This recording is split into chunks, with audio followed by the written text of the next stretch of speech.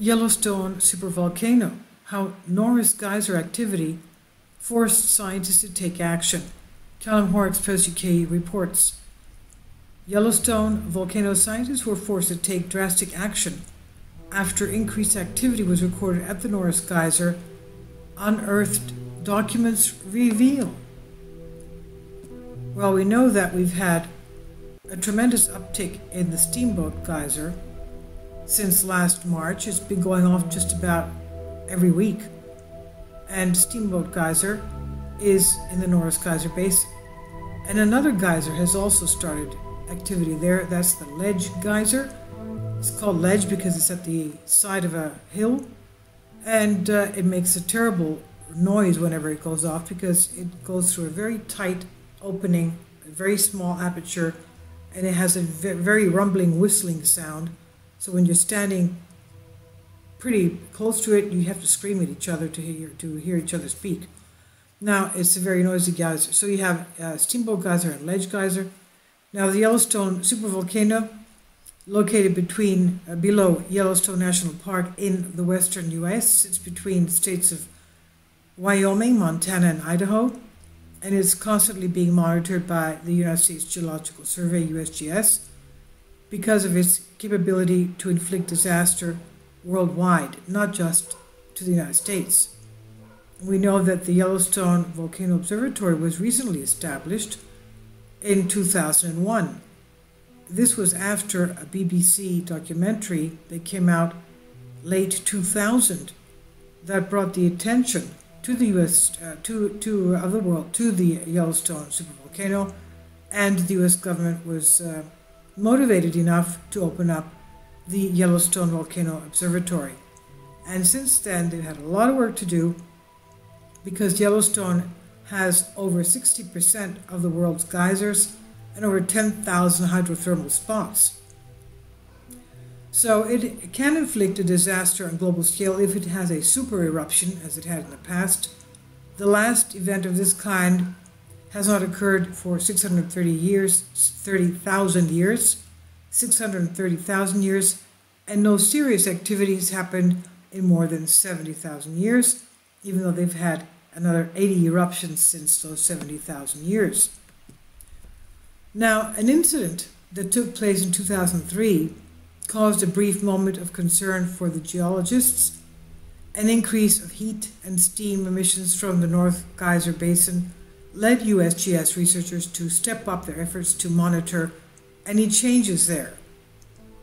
A report from 2003 explained activity in the Norris Geyser Basin increased, and scientists logged higher ground temperatures and witnessed a greater number of geyser eruptions. Quote, in order to better understand the hydrothermal system at Yellowstone, a temporary network of monitoring equipment was installed, which was eventually followed by the installation of a more robust network. End quote. And they go on to explain 10 temperature sensors are located in various steam channels and thermal features within the Norris Geyser Basin. The units are battery powered and are sufficiently small that they can be placed around the geyser basin in an unobtrusive manner. The new network allows scientists to monitor the geyser every few minutes and uh, gets reports about day to day changes. The USGS site explains currently they are programmed to record temperatures every two minutes. The radios transmit the recorded values daily to the Yellowstone Volcano Observatory, YVO. Automatic plots are then generated to provide daily, weekly, monthly plots of temperature values. The site also goes on to reveal how new technology allows scientists to constantly watch the supervolcano and observe any changes. And it says the new system has several advantages to both YVO and to the public. First, data can be viewed within 24 hours of measurement, allowing rapid assessment of changes, changing conditions there. Equipment malfunctions can be ra- rapidly detected, enabling us to identify and correct any problems. And lastly, if needed, the equipment can be queried in real time by YVO scientists. It was also revealed on USGS's website how scientist Greg Vaughan made an abnormal find, abnormal, quote unquote, find after using NASA's thermal satellite MODIS and ASTER.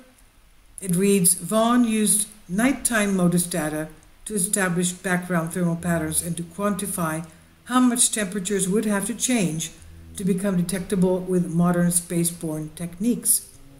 Most natural thermal changes at Yellowstone within the past decade are around the detection limits of the technique, providing hope for future monitoring during more active periods. The ASTER data covers small areas, smaller areas with greater spatial detail, about 90 meters per pixel, and Vaughan was able to use ASTER to create maps showing regions where abnormal amounts of heat are released called thermal anomalies and also to estimate surface temperatures and other aspects of heat flow. Now, as far as the recent earthquakes in Yellowstone supervolcano, Yellowstone monitoring, I'll leave a link below for you. It says here the monitoring instruments data at Yellowstone, 74 earthquakes. The latest one was today at a magnitude 0.6 at a depth of 7.6 miles. Before that, we had uh, about six minutes before that was a 0.1 magnitude, 7.3 miles depth, and before that, at a 1.1 magnitude at a 1.2 mile depth. Now we know that if we're walking around that area, let's say around Yellowstone Lake, well, the roof of the magma chamber is about three miles down below our feet. We've had recent quakes inside the Yellowstone Lake itself, as you'll see from the map. Uh, about uh, 1.9 quake, 1.1 magnitude quake, and a tremendous amount of earthquake swarm. Oh, what can I tell you? Uh, they're not big. They're about 1 point, anywhere from 1.8 to uh, 1.5. The coordinates are in the lake uh, around uh, West Thumb Lake. Of course, we have others, especially in the area of Montana, earthquake swarms, which are about 1.6 uh, magnitude 2, and uh, you'll see them yourselves on the map.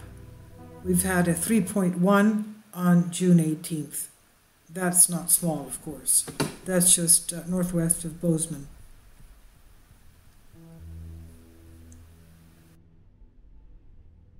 Now, unfortunately, the monitor, the temperature monitors for Steamboat Geyser seem to be off again. The Steamboat Geyser new equipment that they put in don't show any uh, data whatsoever for daily or weekly and the monthly, the last month, the last day that shows up for the monthly graph is May 26th.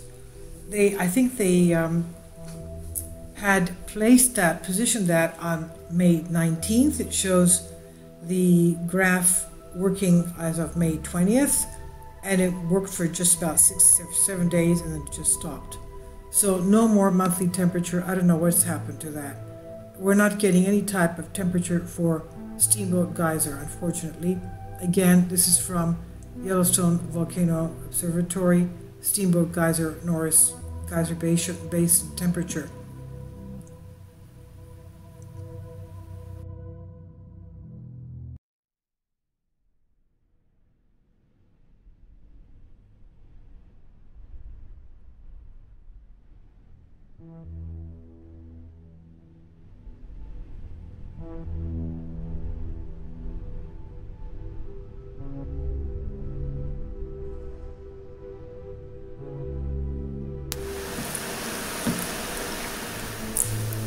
If you'd like to join me on my Patreon account, you will hear content not covered by mainstream media. These riveting stories will be based on my research, and I will state my opinions and give my personal insight on diverse and controversial subjects and world events, events not covered by mainstream media, and not certainly on not supported by YouTube guidelines. So whatever I have on my Patreon, most of those will not be on my YouTube channel. Please consider becoming a member today. More of the, the most significant and important videos will be on my Patreon channel. Your support helps me to continue my research and keeps this YouTube channel alive. And we depend on your support, your generous charity, because we help economically challenged families here in Athens, Greece, in Kapota, and we also help the young generation with university tuition and the community around our church. Thank you.